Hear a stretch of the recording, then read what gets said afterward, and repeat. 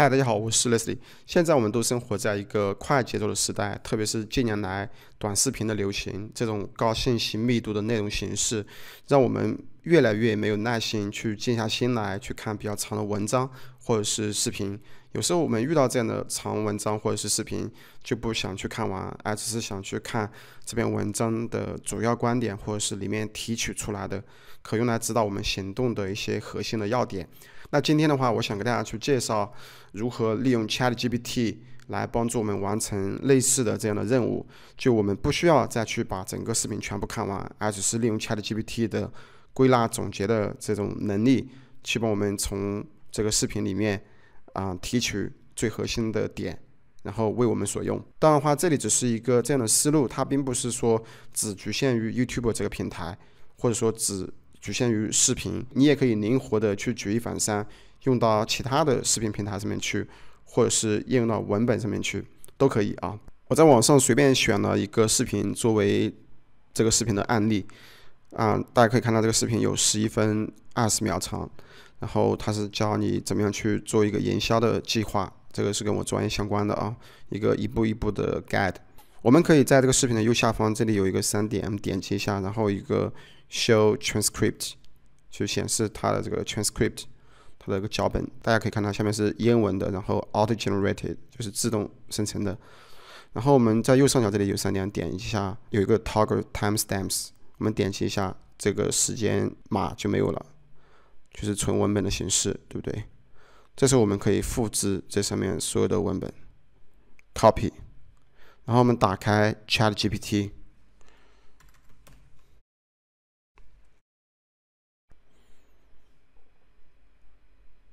然后我们在 ChatGPT 里面输入这样的一句指令啊：Summarize below YouTube transcript and list all the steps to create a marketing plan in bullet points style。就是总结以下面的 YouTube 的这个 transcript，然后列出来所有的这些步骤，去创建一个 marketing plan，对吧？ 然后是用什么样的形式呢？In bullet points style，就是啊要点的形式，对吧？而不是说一大堆的文本。所以这是一个小技巧，就是我们要求它产出来的这个 response 是要用什么样的形式，对吧？不然的话，它就是一大堆的文本，不是非常的清晰易读。然后我们把刚刚复制的这个 transcript 把它全部复制，把它啊粘贴到下面来，然后点击发送。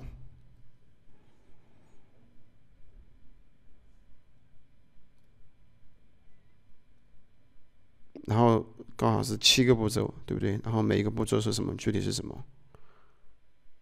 所以他在这个视频里面讲了这个七个步骤啊，五六七。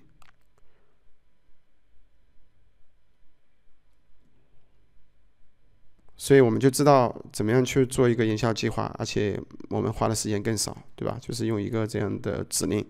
当然，这个指令只是我自己想的一个指令啊，你可以去变化一下。让它写的更加详细，对吧？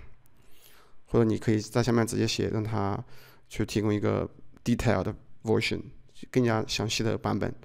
那这样的话，我们就节省了大量的时间，不用去看完这十多分钟，然后花几分钟的时间就可以把这个视频的要点可以 get 到，效率非常的高，节省了我们很多时间。